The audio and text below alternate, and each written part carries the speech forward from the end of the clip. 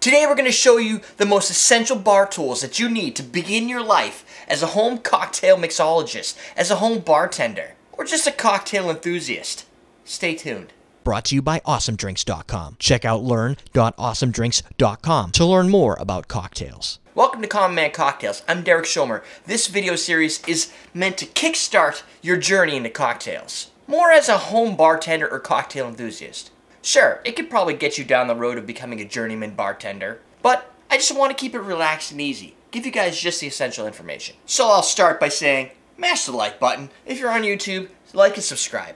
That's the easiest support you could do. This is our first lesson of eight in this first block, which I'm calling Course 1. And that involves just covering the essential bar tools you need, the tricks of the trade, you want to mix cocktails at home, you want to go to a friend's house and be the life of the party. This is the stuff you're probably going to want to bring with you. These pieces make up what I call the home bartender starter kit on awesomedrinks.com. I own the store. Go buy the kit. Of course, if you're watching this on learn.awesomedrinks.com, you probably already know that. So while I'm going to make videos that drill down on each of these tools, this is your overview to understand a little bit more of what you're getting into. So let's start with the Boston Shaker and the strainer. This is one of the core elements of any bartender starter kit. Actually, we sell them as just weighted cocktail shakers as well, where you don't need all, if you have some of these tools, you don't need them all, you can buy just these pieces. It's a strainer. It's a pint glass. And it's a shaker tin. This is a 28 ounce shaker tin. The Boston Shaker is a relatively new device, although shaking to make cocktails or uh, mixing things has been around since like 7000 BCE which I learned is before Common Era. So, if you're not a history major, it was a long time ago. From my own personal view, I think a Boston Shaker is faster and more efficient than a three-piece cobbler, like this.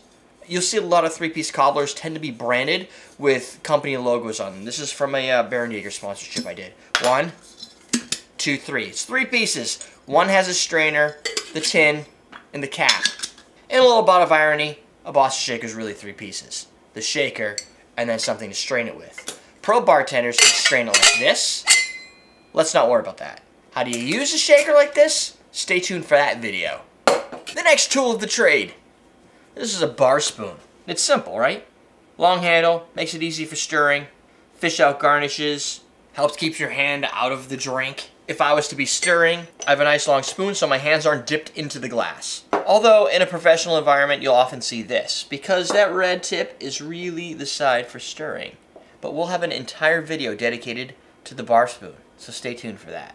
The citrus squeeze. Boom! This is the citrus squeeze you get with the bartender starter kit. Now, the home bartender starter kit does not come with a very expensive one. You can always be looking for a chef squeeze. This thing will produce a lot more juice, but it costs a lot more money. Almost as much as the entire starter kit. If you're new here and you're new to making cocktails and you're not even sure how ambitious you're going to be, this is going to work for you. This is going to be fine. Plus, it's not going to break. That's really what it comes down to, is you don't need products to break. I don't care if you're just starting or not. Products should work with quality. This is by far, when I go to a host a party or do any type of uh, cocktail event, this is the thing I stress to myself not to forget. Because I cannot count the number of times I've been to a party and I've brought out all my tools and I forgot this one essential tool. And as it turns out, people who don't know cocktails often don't have one of these. You can usually find something to measure with, maybe even shake with. But squeezing citrus becomes a real big pain. But when you do want to measure something, you want it to be fast and efficient, you don't want to carry a whole pile of jiggers, the Japanese double jigger is your friend. This is a more of a recent addition to the bartender kit that I've included. I used to use the Easy Step jigger. I moved to this because it's a little bit faster, a little bit more precise, and it has a lot of different measures. Five total measures on here. This guy measures two ounces, an ounce and a half, one ounce, three quarters, and a half ounce. There's a three quarters someplace. Oh, they're both in here. Plus it's fancy looking. So if you look into a press, this is what you'll often see at a craft bar. Although they don't always have the same measurements, they usually just use the two and have different arrays of Japanese jiggers. You'll see ones that look very similar to this. And again, we'll have a video on measuring. Stay tuned for that. Next, the muddler.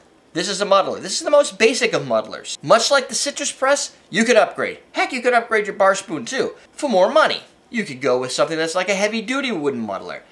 But you're just starting out. You don't even know if you like juleps. You might not even know if you like a mint mojito. So start simple. Easy muddler, nice and cheap, does the job, muddles your herbs. That's all you really need to start. And yeah, you're probably not going to use it all of the time, but it's good to have, especially when you're in the springtime, summertime cocktail fests. And yes, we are going to have another course on making specific cocktails utilizing muddlers and such. Last but not least is the julep strainer. Historically, this was used for mint juleps before straws were popular, but today it's a little bit different.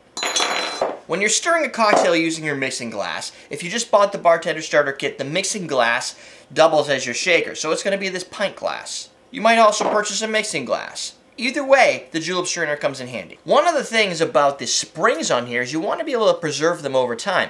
The standard strainer, known as a Hawthorne strainer, doesn't always fit around your glasses. It doesn't fit too bad in here, but it does get a little bit tight. And if you're making a drink with a standard glass, a lot of the times these springs can start to get damaged or worn. So to preserve your strings, they started coming out with this concept of using the julep strainer. The julep strainer is cool. You lie it inside, it holds back your ice, and you're done. It also grabs any big particles if you have large chunks of mint. It's really designed for a mixing glass, but this is just as well as a mixing glass as this. The only downfall, this one has a cool spout, this one you just gotta pour a little quicker. That was also 4 ounces bigger. Overall, the julep strainer is kind of the hit or miss. You may need it, you may not. I put it into the kit because it's a nice thing to have, especially if you want to do things cocktail appropriate. People will expect this when you're stirring a drink. Of course, if they don't know anything about cocktails, who cares? You're already winning. Next, we're going to learn how to use all these tools. So to start your journey as a craft cocktail mixologist, home bartender, or just somebody who likes cocktails, check out the Home Bartender Starter Kit over at AwesomeDrinks.com. Actually, it's, it's right below, so you can just click on that.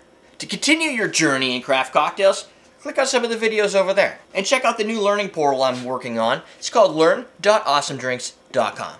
We're teaching you how to drink.